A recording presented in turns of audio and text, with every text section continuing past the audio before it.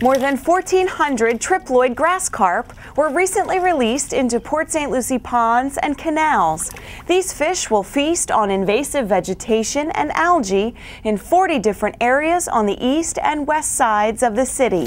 Anything that's submerged in soft tissue vegetation they like that type of thing. The City of Port St. Lucie Public Works Department and Aquatic Vegetation Control Incorporated, a Florida vegetation management and general environmental consulting company, chose to disperse the fish in areas most prone to invasive plant species. When you spend as much time on projects as we've had, especially like here in Port St. Lucie, you know the areas that are prone to developing a bad behavior, so to speak, with the with the plants or whatever may be there. So we know how to beat the plants to the punch to show up before the problem gets there and to keep it from ever being a problem in the first place. We just hired these grass carp, so they they're employees at this point. Runoff from roadways, fertilizers, and other chemicals contributes to invasive growth, and the city wants to control it in a natural, environmentally friendly way. So the fish do a very decent job. They grow to, you know, three to four feet long, these little fish.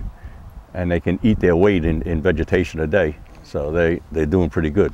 So that's why we keep them in all the waterways and just to keep the invasive vegetation under control.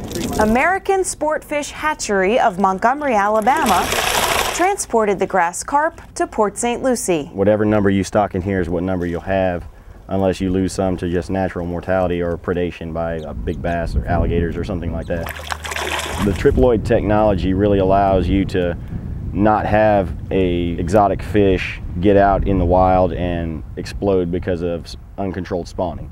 So it really allows the state of Florida to control vegetation in a, in a precise way without using so much herbicide. These grass carp live a functional life of about five years. Without their help, Port St. Lucie ponds and canals would look very different. First, it would probably be covered with an algae, and the more stuff that goes into the, the waterway, the more these things feed and the more algae, grasses, and everything else grows. So this would be actually a clogged waterway. That's why you have to control it to keep it flowing. Each release location has been approved and permitted by the state of Florida.